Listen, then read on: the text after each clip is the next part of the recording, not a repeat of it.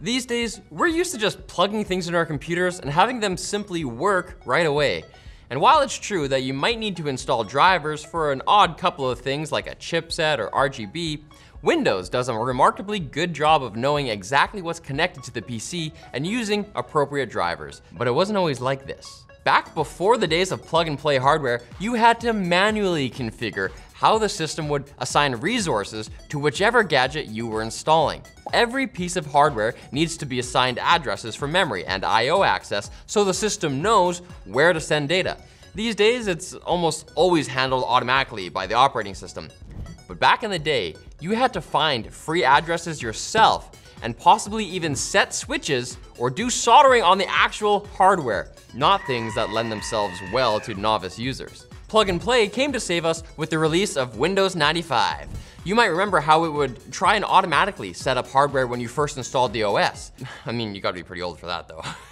Although there were other prior technologies that tried to enable automatic hardware setup, the Windows 95 launch marked the first time consumers experienced widespread support for the technology. Of course, that didn't necessarily mean that it worked well. Although Windows 95 could recognize some devices without a hitch, there still wasn't a universal plug-and-play standard that all device manufacturers used. And to complicate matters, the BIOS had to be on the same page as the device and the OS as well. Furthermore, this was back when the internet was in its infancy and tons of users running Windows 95 didn't even have an internet connection, meaning that while Windows came with some drivers preloaded, it couldn't cover everything as the OS was unable to pull drivers off the server and oftentimes the system wouldn't know what to do with a new gadget. This led users to derisively refer to the technology as plug and pray, as you never quite knew if the system would automatically recognize the device or not when you first plugged it in. Indeed, Microsoft actually had an infamous egg on their face moment during the Windows 98 demo that featured Bill Gates himself. They plugged in a scanner in an attempt to show how the new OS supported plug and play, and the system blue screened as soon as it was connected. You'll notice that this scanner build, whoa. Big oof. But as time went on, the industry figured out improvements to the technology.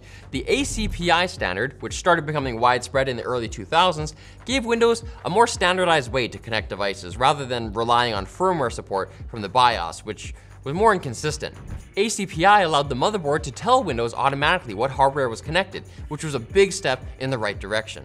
Manufacturers of other devices also started baking in more information that the system could read to automatically tell what was plugged in. For example, PCI adapter cards, including ones that use the later PCI Express protocol, have a configuration space that contains information about what kind of device it is, who made it, and what its capabilities are so that the system can react accordingly. Similarly, USB devices have controller chips inside them that also contain identifying information so that Windows can fetch the right drivers. And as we alluded to earlier, the ubiquity of high-speed internet connections has made it feasible for Windows itself to take these hardware identifiers and match them with a large repository of up-to-date drivers that manufacturers send to Microsoft, making it trivial for the OS to grab a needed driver in most cases. Although this is extremely convenient, part of me does still miss the days when you had to insert a floppy disk with the driver and listen to it make all sorts of ungodly noises. Oh yeah, that's the good stuff.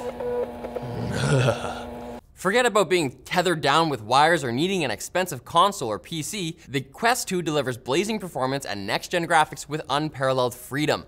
Play awe-inspiring games, get a front row seat to live events, or just take a break and enjoy your favorite movies and shows on a stunning display that features 50% more pixels than the original Quest. At the heart of the Quest 2 is the Qualcomm Snapdragon XR2, a big upgrade from the original Quest and its Snapdragon 835. So you'll have all the speed and performance you need. The Quest 2 also features Wi-Fi 6 for the fastest download speeds ever. And now you can improve even further on the Quest 2 experience with a great lineup of accessories for more comfort, power, and adaptability. My favorite is the padded Quest 2 carrying case, which fits the headset, two touch controllers, a charging cable, and power adapter, as well as an Elite strap or Elite strap with battery. And if you're not sure what the Elite strap is, it's an ergonomically designed strap that enhances support and comfort with a quick twist of the fit wheel. And the Elite strap with battery will provide more playtime and even comes with a carrying case included.